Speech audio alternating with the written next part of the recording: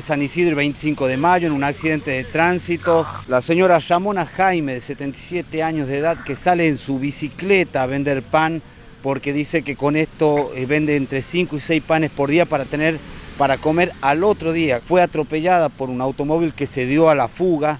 La abuela Jaime está en este momento siendo asistida por personal de bomberos Águilas de Acero a la espera de algún familiar, como así también del servicio de 107. Una abuela que está llorando, está muy asustada porque dice que solo ella sale a vender el pan para poder comer. Y lamentablemente una persona sin corazón la atropelló, la dejó tirada y se fue, se dio a la fuga. El único testigo es un menor de edad que salió corriendo de aproximadamente este menor de nueve años que salió insultando al conductor del automóvil y vino a ayudarla a socorrer a la abuela que habría sufrido esta, bueno, que la atropellaron literalmente. Usted abuela salió a vender el pan. Yo salí a vender pan, me quedan dos panes todavía.